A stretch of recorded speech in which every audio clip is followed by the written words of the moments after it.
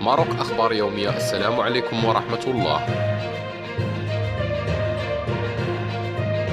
لقي خمسة جنود على الأقل مصرعهم فيما أصيب آخرون بجروح متفاوتة الخطورة ظهر يوم الجمعة 27 مايو الجاري في حادثة سير خطيرة إثر انقلاب شاحنة عسكرية بمنطقة تابعة لجماعة أمغالا. وكانت الشاحنة العسكرية متجهة لمنطقة أنقش التابعة للنفوذ الترابي لجماعة سيدي أحمد العروسي. هذا ولحدود الساعة لم يصدر أي بيان رسمي من السلطات حول الحادث فيما أكدت مصادر أن فرق إغاثة من القوات المسلحة الملكية والدرك الملكي حلوا على وجه السرعة بعين المكان.